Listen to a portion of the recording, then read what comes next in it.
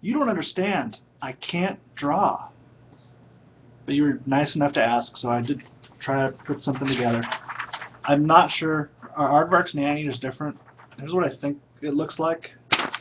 He's battling uh, Pikachu. He's using his mighty tongue attack, and it appears to be working. He's got a good expression though. I, I, I like that part. And I kind of chickened out by using the giant tongue to completely cover the Pikachu, but there, there we go.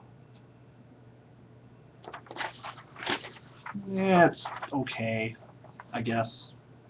But thanks for asking.